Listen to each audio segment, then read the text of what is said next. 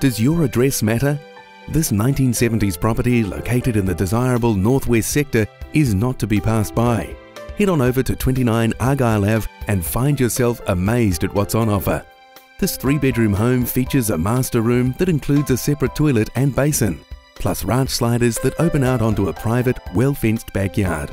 The main bathroom is equipped with both bath and shower box, and as you move towards the heart of the home, you'll find a wood burner for warmth.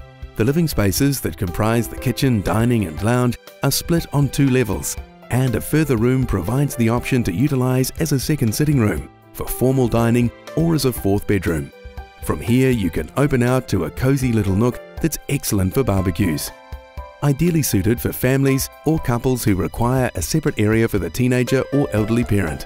Give Margrit a phone call and make a time to view this excellent property.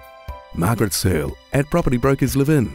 Call Margrit anytime on 027 455 7706